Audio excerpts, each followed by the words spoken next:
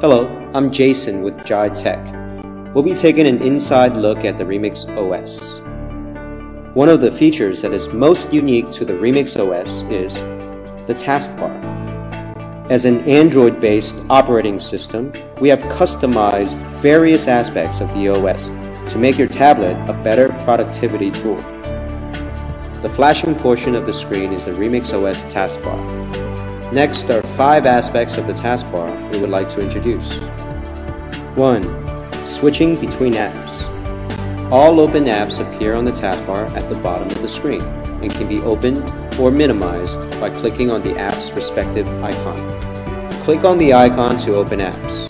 If these apps are opened in phone mode, you can display multiple apps simultaneously. In stock Android, you must use other keystrokes in order to toggle between apps the taskbar makes switching between multiple apps easy. 2. The back and home buttons. Please direct your attention to the flashing buttons. Remix OS's taskbar has two key buttons on the bottom left of the screen.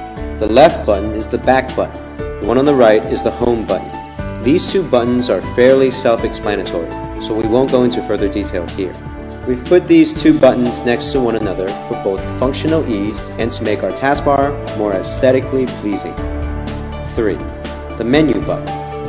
Please look at the bottom right of the taskbar. This is the one menu tool unique to the Remix OS. This button serves two main functions. When all apps are minimized, pressing the menu button opens a power-saving functionality. By clicking Memory Cleanup, the Remix will automatically close all minimized apps. If you select a single app and then tap the menu button, the menu drawer will reflect options for just that application. Aside from indicating which app is currently in use, the menu drawer also allows switching between phone and full screen mode as well as closing the app with Quit App. 4. Pinning apps to the taskbar. For some apps that you use regularly, you can select and drag and pin these apps to the taskbar.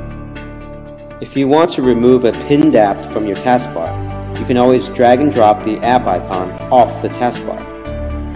If your app is open and you drag and drop it off the taskbar, you will simply close this app. 5. Hiding your taskbar. If you feel the taskbar is interfering with your on-screen activities, you can always minimize the taskbar. If you hold down the taskbar, a pop-up window will appear allowing you to hide taskbar. If you've already hidden the taskbar, you only need to swipe to the bottom edge of the screen in order to reveal the taskbar. In Settings, under Display, you will also have the choice to automatically hide and show the taskbar. Okay, well this will be our tutorial for today. Stay tuned for our next episode.